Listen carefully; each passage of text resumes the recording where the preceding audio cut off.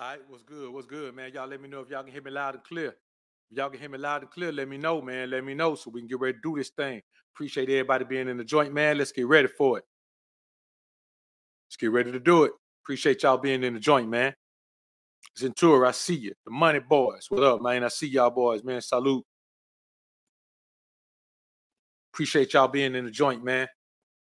Y'all give me a second, man. Let me go turn the ringer down on this phone while the people come in.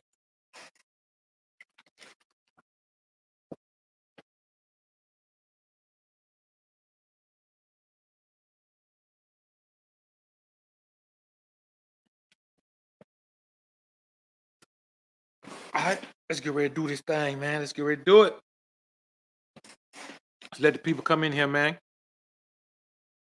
Give them about give, give them about two or three minutes, man. Hope everybody been having a bang up week so far, man.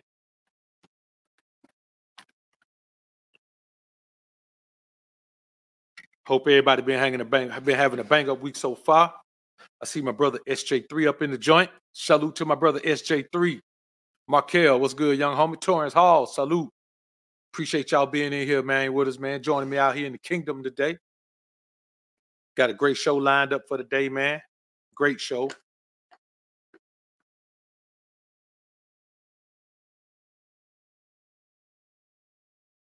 If y'all haven't seen it, man, y'all go to the BOA channel, man. Got a uh, a clip of the Manosphere Anthem video, man. The actual um actual video premiere date, man, is coming up. Uh, also gonna premiere, gonna do a clip, show y'all a clip of the video for um Almost Alpha. You know, striving to become the most alpha version of you, that joint. So y'all be looking for that, man. All right, so let's get ready to do this, man. Royalty, what's good, brother? What's good? What's good? Let's give the people one more minute, man. We'll give them another minute.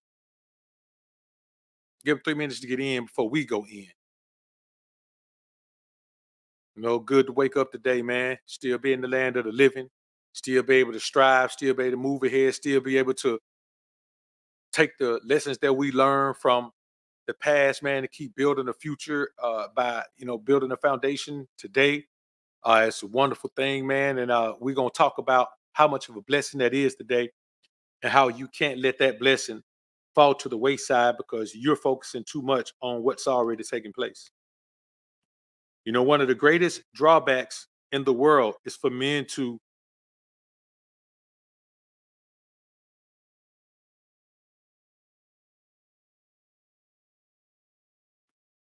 understand that focusing on the past and thinking about the spilled milk and just looking at it is not going to benefit you in any way.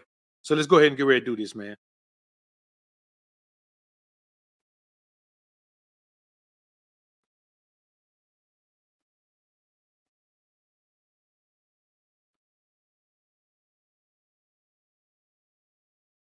All right.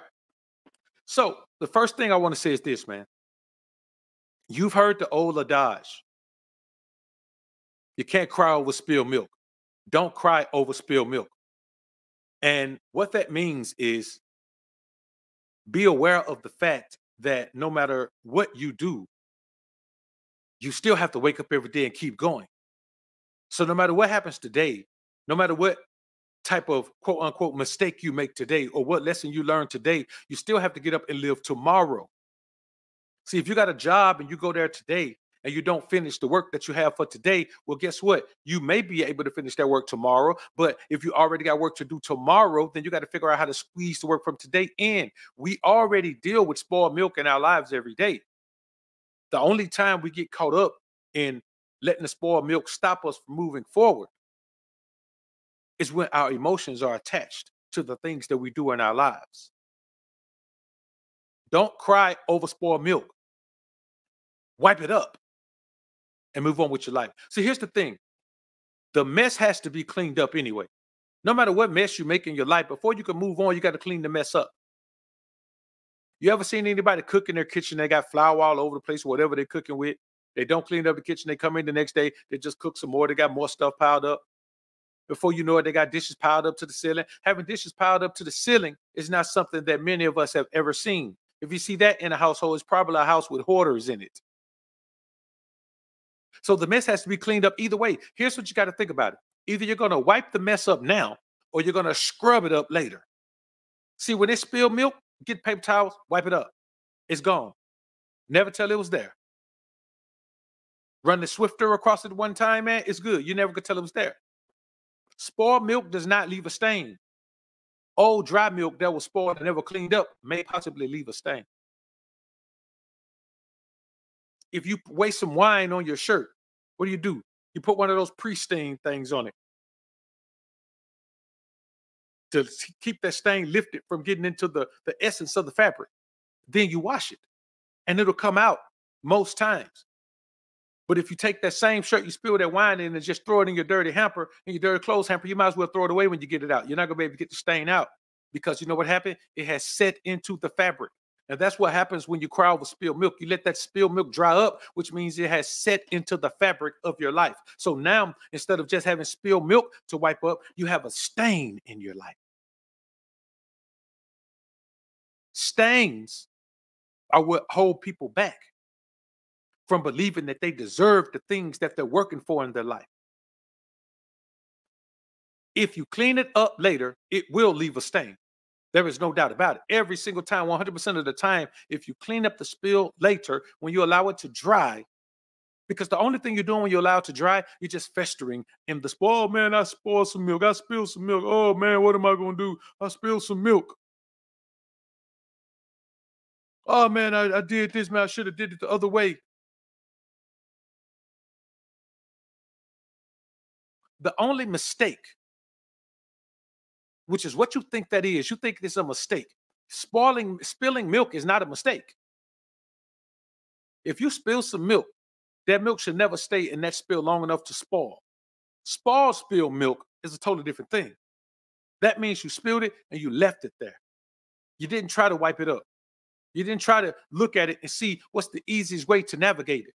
And I promise you, if you look at life and worry about mistakes, then that means you're not looking at life, learn worrying about learning lessons. The only mistake is not heeding a lesson you've already learned through trial and error. If you know that's not going to work and you do it again, yes, that's a mistake. See, mistakes are stupid. Learning lessons is not done. Learning lessons is a part of life. Making a mistake is a stupid decision to do something that you already know isn't going to work, or do something that you already know is detrimental, or do something that you already know is wrong, or do something that you already know won't get you the desired result that you're looking for. That's what spilling milk is. You spill it, wipe it up, learn the lesson, move on with your life. And here's the thing the problem with spilling the milk is most times we get caught up in our emotion, worrying about who got hurt when we spill the milk. Let me tell y'all something right now. And this may sound a tad bit selfish, but it is not. It is just logical. It doesn't matter who got hurt by your spilled milk, unless you spilled it intentionally to harm that specific person or persons, or you spilled it with reckless abandon, putting everybody in harm's way then there's nothing you could do about it. People get caught up in situations all the time if someone is affected negatively by a decision that you made that you thought was the right decision, then you don't have to feel bad about that. You did what you thought was the right thing to do. That's why it's so important to always do the thing that you think is the right thing to do because you don't have to suffer the consequence of knowing that you did the wrong thing and somebody suffered from it. As long as you do the right thing, whatever you think is right is right at that particular time. Now, I don't mean you can't do the you can't do the opposite of what you know is right and say, well, at that time it was right because such and such. No, I mean the thing that you absolutely believe in. If you do what you believe in, what more can we ask of you? Even if what you believe in is wrong, at least when you do it, you believe in it. You're not going against what you think you should be doing. You're not going against the best thing for you. And so, as long as you do what is best for you and best for the people around you, and you really believe that's what you're doing, hey, man, if somebody, you know, is, is, a, is a casualty of whatever decision you made, man, you can sympathize or empathize with them, but you got to move on. Life doesn't stop no matter when you do. Life doesn't stop. The only thing that can get in your way is death. The only finite thing is death. When you no longer need to breathe in the oxygen of the earth. Otherwise, you have time to keep moving. See, you know the number one problem with men in this particular society and women too as well, with people in this society, with people in this world. People always have this undying loyalty to their old life or the people, places, or things in it. I was talking to some young guys, man, and you know, they had somebody do some things for them early in their career, and now they feel obligated to owe that person. Hey, man, listen, you don't owe someone who helps you because they want to see you win. Because people who help you because they want to see you win, they're not going to receive any recompense from you. They just want you to capitalize on what they did to benefit you and go ahead and become successful. Don't allow me to contribute my time, effort, and energy to what you're doing, and you just throw it to the wayside and don't put in the work to make it happen. But if I listen, if I invest in a business and I recoup my money 10 years down the line, that business don't owe me nothing. They, they literally don't have to let me come in and eat at a discount. They don't have to do anything. Don't allow people to tie you to what you did before, or even worse than that, tie you to what they did before.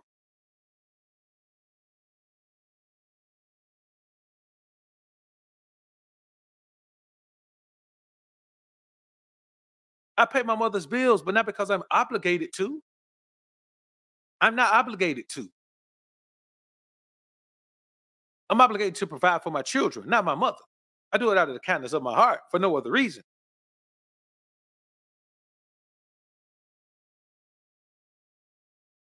It doesn't matter how well you were raised, it's, it's your parents' job to raise you. That's their responsibility. You don't owe them for doing what they need to do. Even if you see someone else who had a worse parenting experience, so what? That's their life.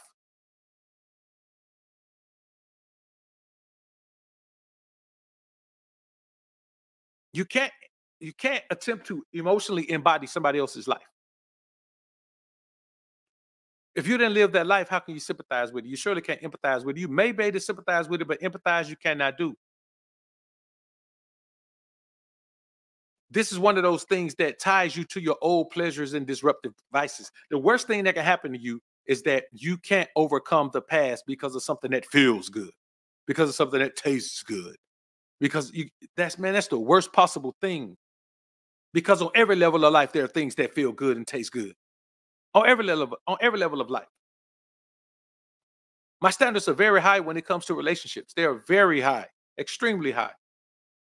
Whereas there are certain women who are eliminated from the position, man, from the time I meet them. There's that there's that disqualifying factor in their life. And one thing I'm not going to do, I'm not going to compromise on the disqualifying factors. Why? Because I have a life to protect, the same way you do. Now, if I say, okay, well, I did this before, or I did that, so maybe I should be a little more lax on my standards because of, no, I wiped that milk up already.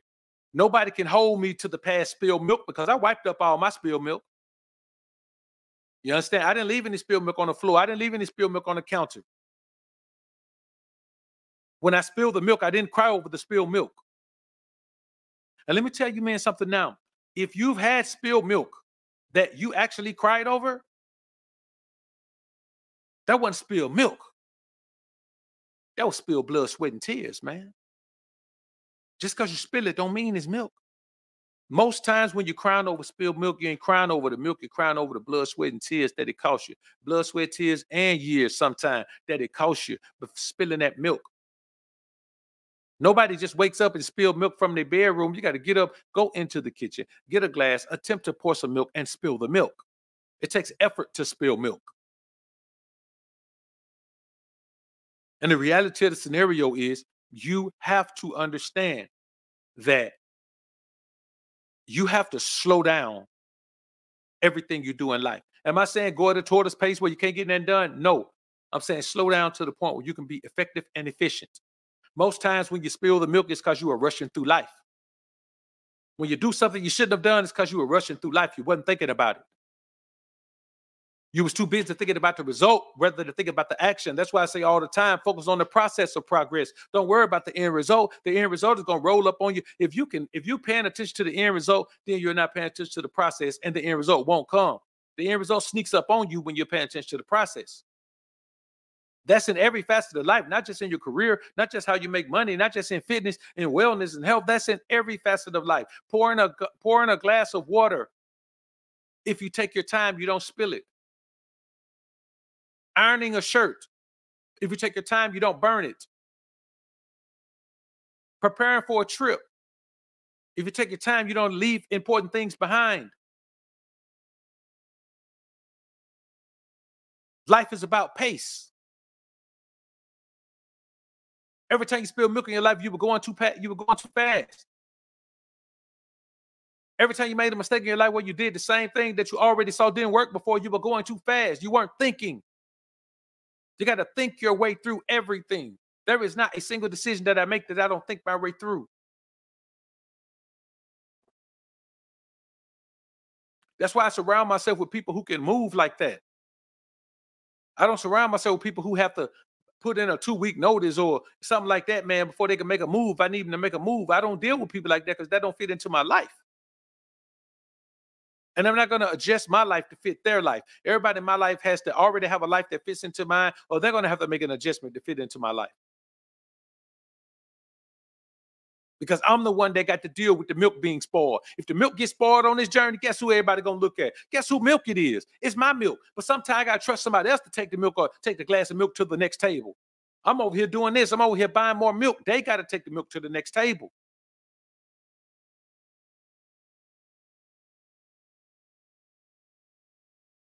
You know, part of the problem is that too, people too busy running with a crowd instead of walking with the Most High. The problem is God is guiding your steps. So you're up and down, up and down, up and down like a roller coaster because God is guiding your steps.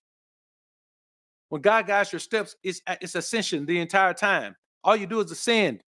You don't ascend, descend, ascend, descend. You don't do that.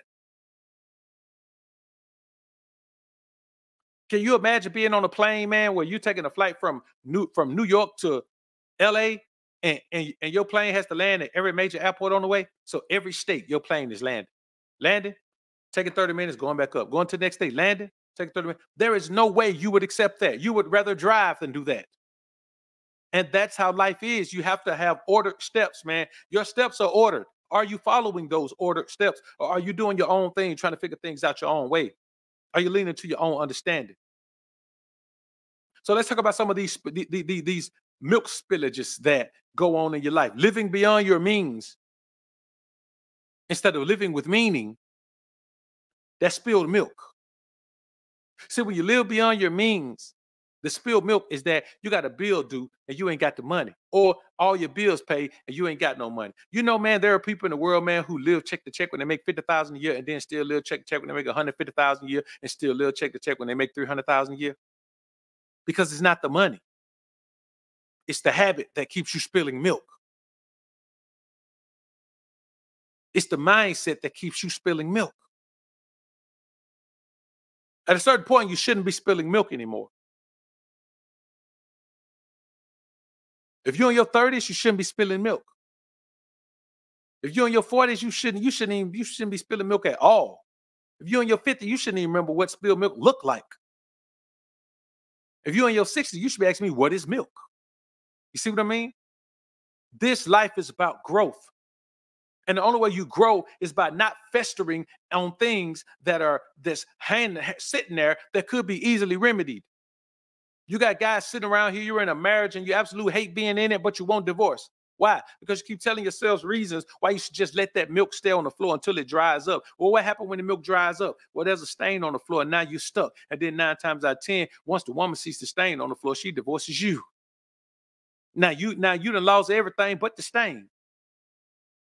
Govern your life as if you want to win. Govern your life as if you want to win. What is your meaning for living? Your meaning for living can't be making money.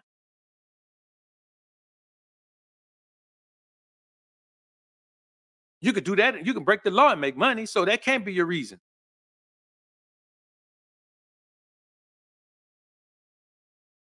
You see, you know, the problem is you should have a healthy fear of staying the same. You should have a healthy fear of 10 years down the line being in the same position you're in right now. That, that should be your driving force. One of the major driving forces ever should be waking up 10 years down the line and you're still in the same position. You know why? Because they mean you spent the last 10 years, man, just walking over puddles of spoiled milk, spilled milk that turned spoiled because you let it stay down there for so long. And I want y'all to think about that. Ask yourself, why is it that you are being held up by everything that you do that you think is wrong, that you think is a mistake, that you think you can't recover from. Man, you've been recovering from things your whole life. You were born, you recovered from coming into a world after you had been in a womb for nine months. If you can overcome that, what can't you overcome?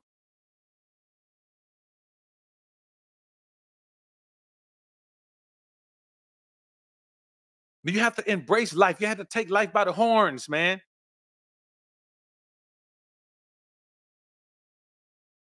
Embrace it. There should be no fear of the unknown. Your fear should be of the known. You should fear the things you know still being relevant in your life 10 years later. You should fear the unknown. Every day is unknown. If you fear the unknown, you're waking up every day living in fear. You don't know what's going to happen tomorrow. So, in order to fear the unknown, you are already fearing, you spend today fearing what's going to happen tomorrow. And that doesn't make a lot of sense. It's the type of thing that has you ignoring wrong and admonishing right or swapping wrongs and rights. You know you should wipe that spilled milk up, but then you're telling yourself the reason why you shouldn't. You're telling yourself the reason why you won't. Fear of staying the same should motivate you more than anything, man. I'm telling you, because life isn't guaranteed. So to blow 10 years and accomplish nothing and still be in the same position in every facet of life, that's failure. That should be your greatest fear. Waking up 10 years later and seeming like it's today. Think about how sedentary and stable, I won't even say stable, but sedentary and simplistic. And not simplistic in a positive way. Your life must be for you to wake up 10 years later and it's like you ain't even lived 10 years because your your your life is exactly the same. Exactly the same. Man, you got to get out there and get it. Because here's the thing you can't fear taking risk. You can't fear going out there getting what you want because it ain't around you right now. If fear of the unknown worked, then everything that you wanted would be right there where you are right now because your fear of the unknown would be getting you there. If your fear of risk taking is going to make you not do the things you need to do, then you're going to be stuck where you are. What is the risk? The risk is staying stuck where you are. Jumping off the porch is not a risk. Jumping off the porch is a necessary thing that you must do in order to get to the things you want. The risk is not jumping off the porch, expecting things to come to you where you are. That's the risk. And it's, it's a risk that won't pay well. You might as well not take that risk. It's not going to pan out. It's a terrible risk to take. Terrible risk. See, the reason that you suffer from that risk aversion is because you don't see the potential in yourself. So you feel more comfortable with this version of yourself you know and the things you've already done. You don't have enough confidence in your potential to jump off the porch. When I jump off the porch, say, okay, bam, I'm about to go. About to go do this.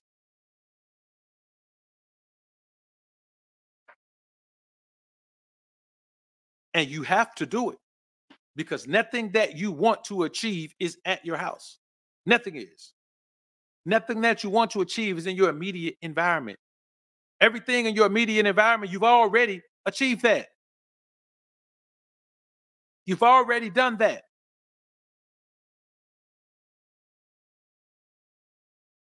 You can't live every day like you can like you can predict your time of demise. You don't know when you're gonna pass. So you're gonna waste a day not taking risks. You're gonna wait today not doing your thing. You're gonna waste a day not wiping up that spilled milk. Stop crying over spilled milk. Wipe it up and move on with your life. Either you overcome mistake grief now which is many men will suffer. Many people in this society suffer from what I call mistake grief. You're grieving because of this quote unquote mistake you made. Well, here's the problem either you overcome that mistake, grief now, or you will die with regret later. The, the only outcome for not overcoming mistake grief is to be on your deathbed with a bunch of regrets. A bunch of regrets about not doing this, about not doing that, about not taking this opportunity, about not taking that opportunity, about not relocating, about not getting out of their relationship, about not not not coming on board with those people who believe in what you're doing, about keeping those people on board who don't believe in what you're doing, about you have to be willing to do the necessary thing. And you can't do that if you're still crying over spilled milk. You can't do it. The Swarthy Wizard, appreciate the $50 sponsorship of the show, brother. I appreciate it. Hope I'm not late. Please open the gate. gate is open. Salute to you, man. Appreciate you being in the joint. See, you know what the problem is? You got to stop paying attention to the negative energy in your life, whether it's the negative energy of, of, of others or the negative energy that you create around your quote unquote mistakes. Because I promise you, you probably haven't made any mistakes at all. A mistake is when you do something and it burns you and you go right back and do it again. Most of us don't do that. Most of us don't do it. Even a man who continues to tries to be in a, a, committed relationship, he doesn't try to do it with the same type of woman or the same a woman with the same characteristics. He at least makes an adjustment, and that's all life is about. Life is about just making adjustments, man. You're not dumb. You know the things that you need to fix from the last situation. You know the things that you need to improve upon from the last situation. You know the things that you need to implement into the new situation. You know the focus, determination, and drive that you need to put into the new situation. Whether that situation is romantic, whether that situation is financial, whether that situation is spiritual, mental, emotional, no matter what it is, you have to put yourself in a position where you are going to enter that situation with confidence in your ability to achieve the things that you need to achieve. You can't live the life of a failure and think that you're going to be successful at anything.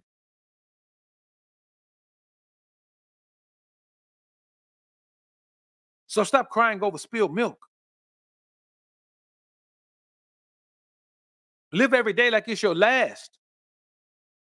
Because one day you'll be right. And you don't know when that day is, man. You don't have time to waste. You don't have time to waste. You don't have time to waste. Believe in you. Believe that you're smart enough to learn from what you just went through. Believe that you're wise enough to store and compartmentalize that information. Believe that you're wise enough to not do the same thing again because you already saw it didn't work. Force yourself, control yourself, beat yourself over the head, make yourself believe and understand that you know how to navigate this next situation in your life. If not, you you can't stay stuck in the porch. Get off the porch. All the puppies are on the porch, the big dogs in the yard. But the big dogs have all the best food, all the best toys, all the run around room that they need. And it'd be cool if you were a pup on the porch, but you're a big dog on the porch. You're a big dog on the porch of your life, scared to go down the stairs, afraid to go down the stairs.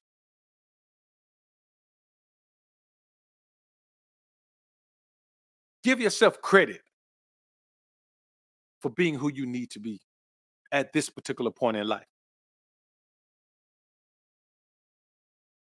And stop crying over spilled milk. Get some paper towels and wipe it up. Then put the Swiffer or the mop on. Voila, it's gone. And the only thing that's left is for you to get out of your own way. Stop selling yourself short. Stop treating yourself like you don't believe in yourself when you're the only one who truly does. Stop being afraid to take risk. Go to the edge of the porch. Say Geronimo and jump off. Peace.